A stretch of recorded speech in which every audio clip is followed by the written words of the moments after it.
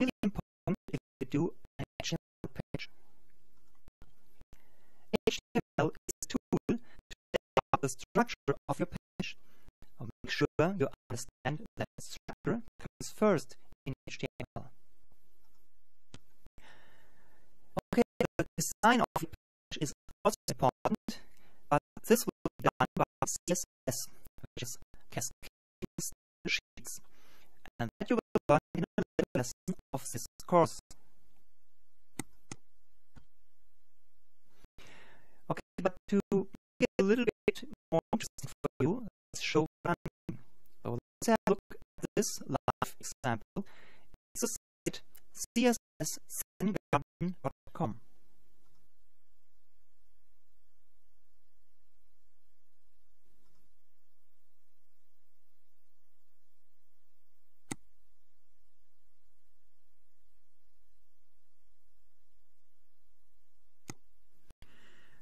Page is pure structured HTML. All the design comes from a separate file that only contains the style sheet for the design. You can even download the HTML, the CSS, to have a closer look. But I will show you that here.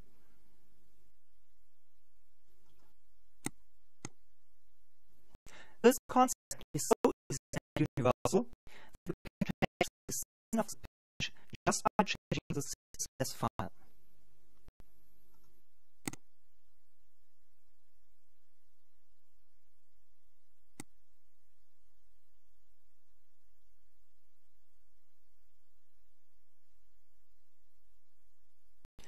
As you can see, the design has changed completely.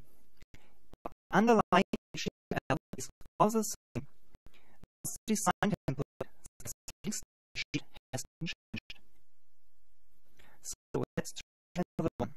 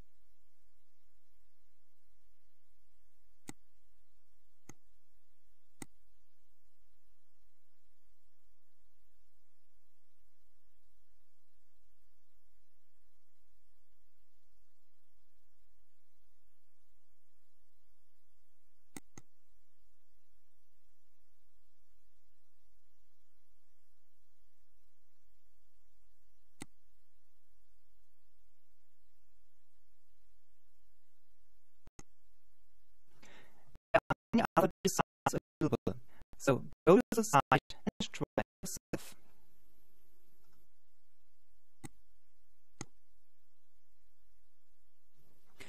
Just out of curiosity, let's have a quick look at the original page that had changes. This is a page that your browser sees without design information. This is also what search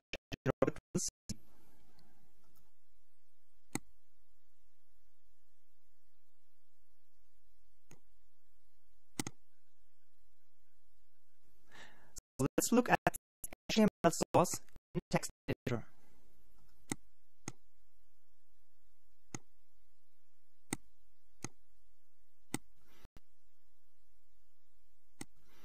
This document is almost the same that you have already seen videos. There is a type declaration, even if this is a little bit different from the other one in the course. There's also a hashtag.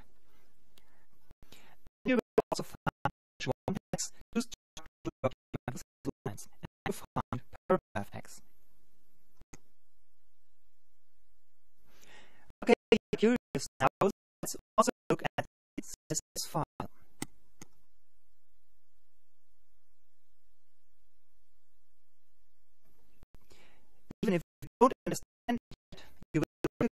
some of the terms.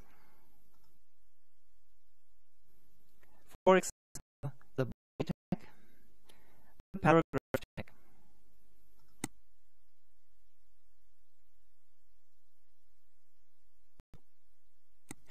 Okay, this all you will learn later in the course.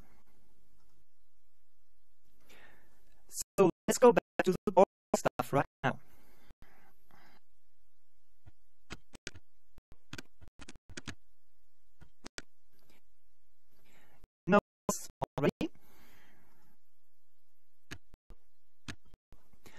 Build a decent structure in HTML, you should always start with the h1 tag for the largest headline.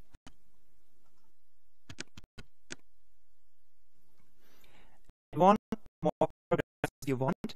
In most cases, you might want to go on the second headline. So the second headline is not as important as the first one, so you should choose a h2 tag for this. This will produce a smaller headline text, but this is not the important part. You will be able to choose the size your CSS later. The more important part is that will give you a good structure. Now you can add some text on the subtopic. You can add another subtopic under the subtopic. This is the H3 tag.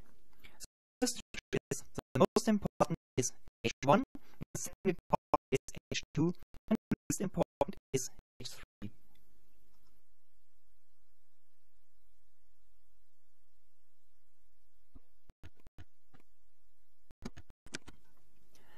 you finish the first topic, use H1 again for the next most important topic in the document.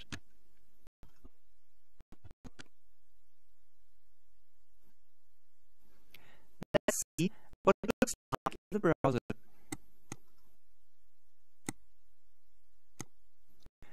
The two topics are now well structured with the largest headlines.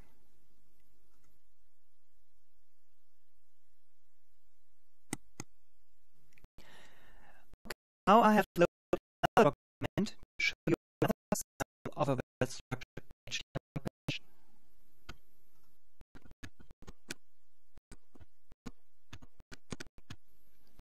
This is the new part.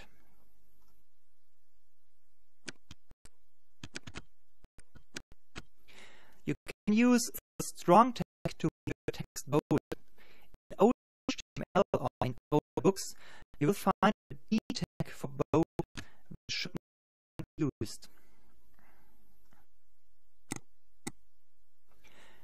Use the M tag to emphasize text.